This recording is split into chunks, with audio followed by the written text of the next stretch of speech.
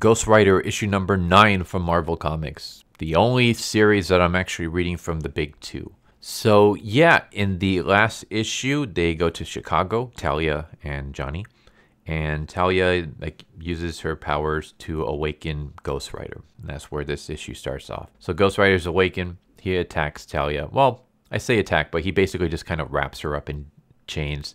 And um, we get like a little tsundere moment with uh, Ghost Rider where he tells Talia he doesn't belong to you, he belongs to me.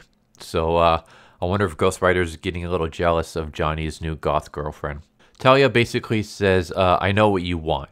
You want to eat and you want to eat sin. Well, if you let me work with Johnny, I can promise you a big, meaty, all you can eat buffet of sin and revenge.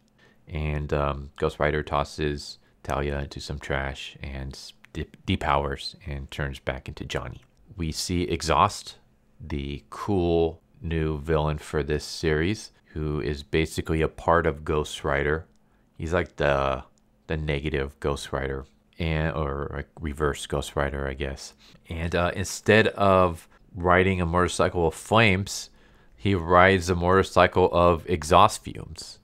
And as he drives by people on the highway, the exhaust fumes get into like the drivers and stuff, and it gets inside their bodies and it turns them into flesh sacks basically and uh, causes them to crash. So he's just basically killing a bunch of people as he's driving to chicago. Talia basically is, is talking to johnny and says you know sometimes you have to do bad things to make things good. And um, they stand in front of a church and johnny says uh, you know it's kind of hard to describe but the, the spirit of vengeance can sense evil and um, it was kind of pointing me like a compass when you ignited him earlier he brought me here they look inside the church and they just find a bunch of dead people everywhere. And he realizes this is some kind of sacrifice. And um, yeah, they see a crow, so Zeb's still working with them. And uh, they go down into the subway station uh, where they meet this old guy who uh, wants he has to pay if he wants if you want passage. And he has like a cup full of like bloody teeth. And he's like you know i almost had enough. And he goes to attack Johnny when he trips and falls onto the tracks, and uh, a subway train runs him over. And we get this cool moment where, as a subway train is passing by, Johnny just witnesses a bunch of uh, bloody people inside banging on the, the doors trying to get out. And basically, these people are being driven to slaughter. So Johnny transforms into the Ghost Rider to chase after the, the train. Meanwhile, uh, Talia comes face to face with Exhaust.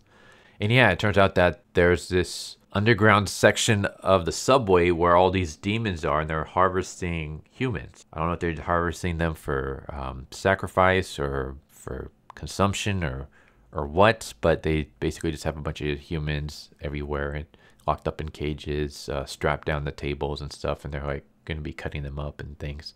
And I'm going to stop it there. But it's awesome. I love this series so much. The series so great. Writing has been phenomenal. Artwork is always great. I enjoyed the character of Talia.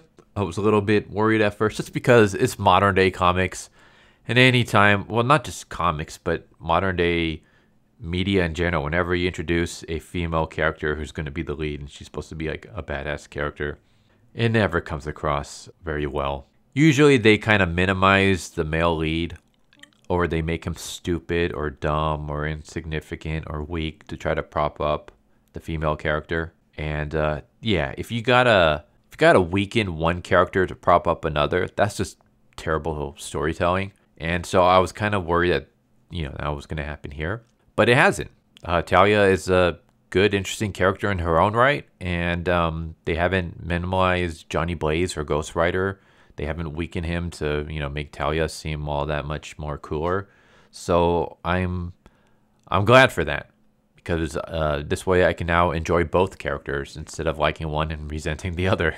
Characters are good, writing's good, artwork's been good. The idea of like this underground demon hideout in the subways where they're like collecting humans on trains and cutting them up and stuff for parts seems kind of interesting.